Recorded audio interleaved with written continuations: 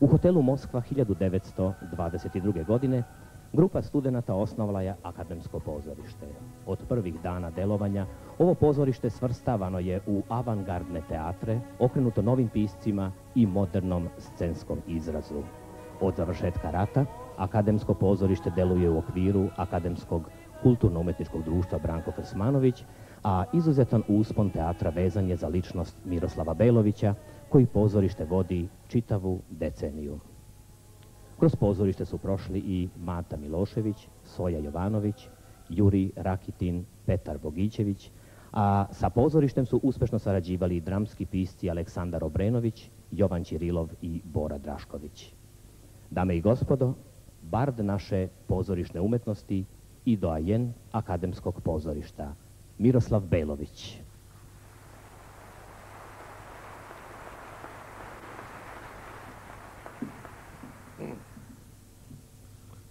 15. septembra 1922. godine osnovano je Akademsko pozorište.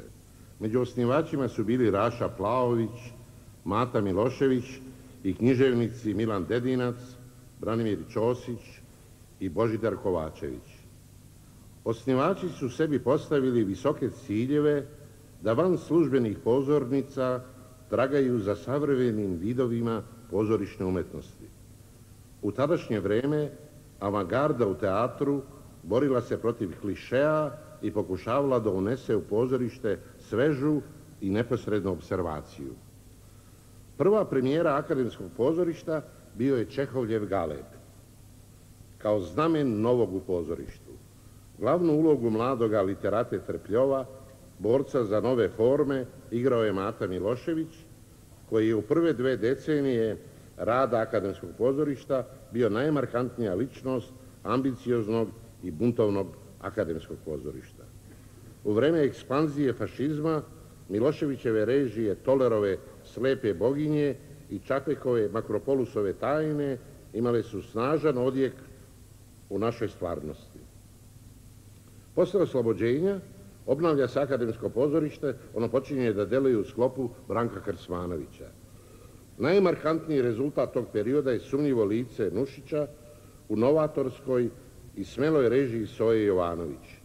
Ova predstava se kreativno suprotstavila dogmatskom shvatanju realizma i sistema Stanislavskog. Ansambl je dobio svoj autonomni i homogeno uobličeni vid. Stvoreni su svi uslovi da akademsko pozorište izraste u naš još jedan novi pozorišni ansambl.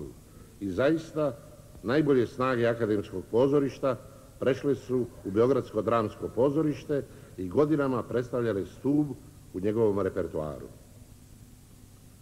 1951. godine Soja Jovanović mi je predložila da režiram u akademskom pozorištu ljubavno pismo Koste Trifkovića. Otišao sam da provedem među studentima nekoliko nedelja, a ostao sam više od deset godina. U tome i čarolija tog večno mladog pozorišta u kome se proba do zore, u kome niko ne gleda na sat i u kome se snivaju snovi o teatru koji će da bude istinsko gledalo svoga vremena. Vidiš, ti za mene još nisi ništa. Samo jedna mala devojčica koja potpuno liči na stotine hiljada drugih malih devojčica. Ali ako me budeš pripitomila, ostaćemo potrebne jedna drugoj. Ti ćeš za mene biti jedinstvena na svetu. Ja ću za tebe biti jedinstvena na svetu. Počinjem da shvatam. Ima jedan cvet, čini mi se da me pripitomio. Hej, šta moram da radim? Moraš da budeš strpljiva. Najprije ćeš sesti malo dalje od mene. Tamo u travu. Ovdje?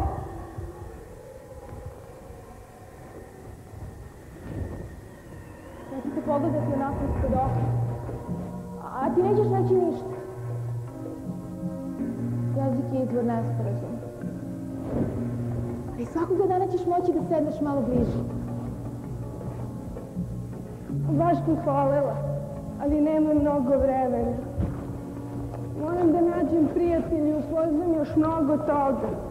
Ali možeš da upoznaš samo one stvari koje si ti pripitomila. Ljudi više nemaju vremena da bilo šta upoznaju. Oni samo kupuju gotove stvari u radnjama. Pošto nema takvih trgovina u kojima se kupuju prijatelji. Ljudi više nemaju ni prijatelji.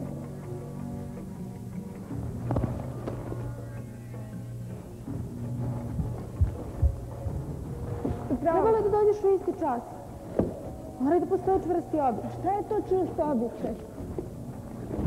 Nešto što uveliko zaboravljam. To je ono što jedan dan razlikuje od drugih. Jedan čas od drugih časova. Ako, na primjer, budeš dolazila u četiri sata, ja već u tri mogu da počnem da budem srećna. Što više vremena bude prolazilo, to ću se srećnijom osjećati. Četiri će već biti uzbuđena i uznemirena. I saznaću koja je vrednost sreće. Ali ako budeš dolazila u bilo koje vreme, ja nikada neću znati kada moje srce treba da bude tu.